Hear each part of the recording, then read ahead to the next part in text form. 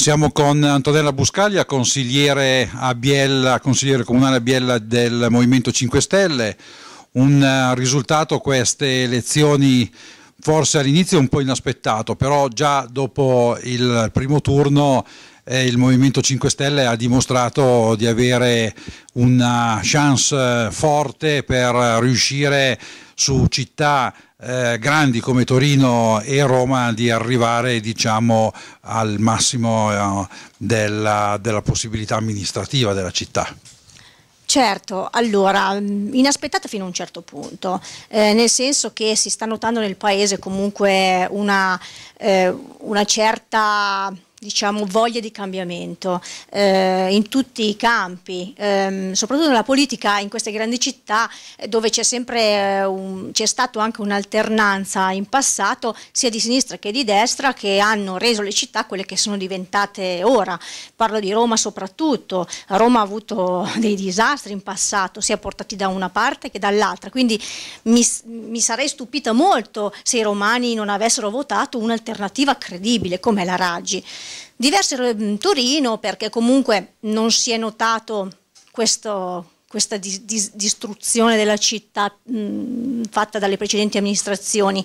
però io ci credevo, anche Giovanni comunque il mio eh, collega in consiglio comunale già due mesi fa diceva che ce l'avremmo fatta anche a Torino e non aveva torto, probabilmente le persone, i cittadini si stanno accorgendo che noi siamo credibili, non siamo più soltanto come era inizialmente una, eh, un movimento politico di protesta, ma stiamo diventando concreti e lo stiamo dimostrando in tutte le città che stiamo amministrando, da Livorno a Parma, quindi i cittadini ormai hanno visto soprattutto quelli del Piemonte che sono sempre un po' più schivi ai cambiamenti, no? hanno visto che comunque qualche risultato riusciamo a ottenerlo e anche dei buoni risultati, eh, riducendo il debito, perché comunque non è che si guarda soltanto l'aspetto diciamo, eh, sì, l'aspetto diciamo, di, di, eh, di, decoro pubblico, di decoro, di decoro, urbano, ma si guardano anche i programmi. Probabilmente a Roma è stato anche molto incisivo il fatto che non avesse voluto che, che la Raggi fosse, e anche il movimento, che in tutta Italia si è dichiarato contrario alla candidatura alle Olimpiadi qui in Italia. Quindi secondo me è un, stato un, una botta veramente importante per il nostro movimento, ma anche per i cittadini che vedranno, perché io ne sono convinta, che il movimento in queste grandi città amministrerà bene, come sta facendo già nelle altre città. Ecco, consigliere Buscaglia, un movimento che possiamo definire ancora giovane e quindi ehm, i politici diciamo, navigati dicono eh beh ma loro non sono presenti su tutto il territorio come i partiti, eh, però chiaramente bisogna crescere e bisogna costruire. Certo, beh, diciamo che il movimento è sempre più presente perché comunque non avremo ancora forze politiche, forze del nostro movimento in tutti i comuni eh, d'Italia, comunque siamo sempre eh, diventiamo sempre di più, sempre più numerosi nei comuni, eh, quindi mh, mm, direi che arriveremo anche ad essere in tutti i comuni italiani, ma di sicuro. Poi sapete benissimo che una delle politiche del movimento è stata la riduzione dei, dei comuni al di sotto dei 5.000 abitanti. Diciamo che su certi tipi di comuni probabilmente il movimento è anche meno interessato, perché comunque siamo sempre stati mm, assolutamente contrari alla frammentazione proprio così esagerata dei comuni, che sono comunque importanti eh? sono comunque importanti perché rappresentano comunque una buona fetta della, della cittadinanza, però comunque eh, per noi è sempre stato un, un, una crescita in tutti i sensi, sia a livello di, ehm, di, appoggio comunque dei cittadini della nostra politica, ma anche proprio di capillarizzazione del nostro, del nostro movimento. Quindi stiamo, stiamo crescendo, sì, sì, sì, sì, siamo giovani, però come si dice ben motivati, ecco. Probabilmente anche un centrodestra frammentato come è accaduto a Roma ha lasciato spazio e eh, senza un uh, apparente impegno, però forse una mano ve l'ha data. Beh, può essere, può essere, però come avete visto il, la frammentazione nel centrodestra, per esempio Torino non c'era.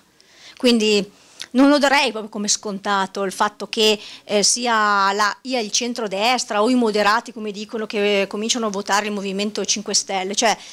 Il movimento a Torino, eh, le scorse amministrative nel 2009 era al 5,60%, infatti sono entrati due consiglieri in Consiglio Comunale a Torino. Dal 5 andare a finire al 56%, io mi chiedo quel 50% che da che cosa è composto e non ci credo che è composto soltanto dal centrodestra. Sicuramente ci sono state delle, pers delle persone che hanno deciso, ma coscientemente, di cambiare dal centro-sinistra, da Fassino, a un movimento. Il movimento è un insieme di... Eh, di, di, di passati politici, di persone che si sono stufate e hanno visto che non trovano più nel partito quello che una volta li accontentava. Ormai non c'è più, i partiti non ci sono più e sarà sempre peggio per i partiti tradizionali. Infatti proprio in città eh, come Novara dove chiaramente non avete vinto, però eh, come Torino dove ci sono dei candidati storici, diciamo, appartenenti dei partiti, dove addirittura un Fassino poteva essere candidato a Presidente della Repubblica e la gente è un po' stufa di vedere sempre eh, il, le solite persone, le solite figure eh, al centro dell'amministrazione, al centro, diciamo, del potere politico e amministrativo, perché poi sappiamo bene che dalla, dalla, da un'amministrazione pubblica, da un'amministrazione comunale, poi ci sono mille eh, diciamo, rami, rametti che vanno a finire eh, sulle municipalizzate piuttosto che sulle fondazioni e quindi è proprio una ragnatela poi di potere che si viene a creare. Certamente, ed è una cosa che nel movimento per esempio non esiste, cioè nel senso, le spiego, ehm, quello che si noterà adesso si vedrà che i candidati che non hanno vinto al ballottaggio andranno e ritorneranno in Parlamento. Eh, questa incoerenza comunque eh, si vedrà perché Giacchetti cosa andrà a fare? Il consigliere comunale, la Meloni la vede come consigliere comunale, no, loro torneranno in Parlamento, magari la Meloni tra un annetto quando finirà la sua gravidanza e, e quindi cioè,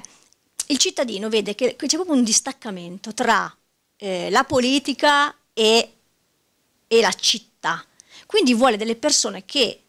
hanno dato e danno il loro rapporto all'interno della città. La Raggi era consigliere comunale, la Appendino lo stesso era consigliere comunale, quindi le, mh, mm, i cittadini si sono stancati di dover guardare davvero gli interessi politici, perché comunque uno che è stato in Parlamento, per esempio noi avremmo potuto, avuto l'opportunità di candidare a Roma a Di Maio, avremmo, fatto, avremmo vinto al primo turno. Il problema, il problema, anzi, il nostro vanto, non il problema, il problema per gli altri, ma il nostro vanto è che comunque quello che facciamo, quello che i nostri eh, candidati sono nati, cresciuti e tengono a quella città, quindi rimangono in quella città e non è come gli altri candidati, quindi è anche una questione di coerenza con quello che si fa. Il fatto comunque anche che un eh, movimento metta in sospeso un sindaco perché non ha detto per esempio che c'era un avviso di garanzia a suo nome, opinabile, diciamo quello che vogliamo, però comunque ci sono delle regole fisse che il movimento comunque segue, anche a volte a proprio svantaggio, perché a volte ci escono delle cose proprio a un giorno o due giorni dalle elezioni che magari ci fanno calare negli, nei sondaggi, perché noi vogliamo essere coerenti e sicuramente la coerenza sarà anche questa, andare avanti a lottare per queste cose di cui parlavi tu, cioè nel senso le municipalizzate, cercare di togliere la, il controllo politico, mettere il controllo del cittadino, che è diverso, perché il cittadino pensa alle propri interessi, mentre la politica pensa politici, alla, agli interessi della politica, che sono totalmente cozzanti l'uno con l'altro.